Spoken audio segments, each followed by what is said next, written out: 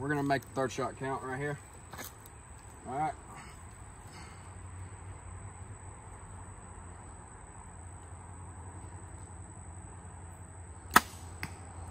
All right, let's go check on our deer now. So, last shot, better than it was last time. Still wanted in this little general area right here, but hey. Uh, third final shot was a success. Now, let's move on to, uh, dude, I gotta, dude, I gotta go to the bathroom, man.